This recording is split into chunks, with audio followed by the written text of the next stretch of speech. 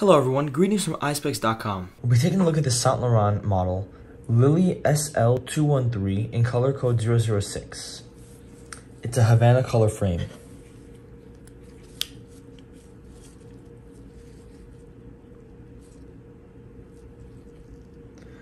The style of this frame is a fashion cat eye.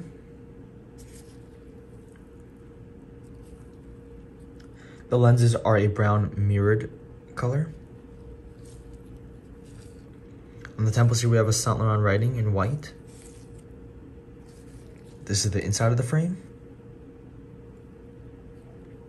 This frame is made in Italy. That's the serial number. This is the other side of the temple with the Saint Laurent writing in white.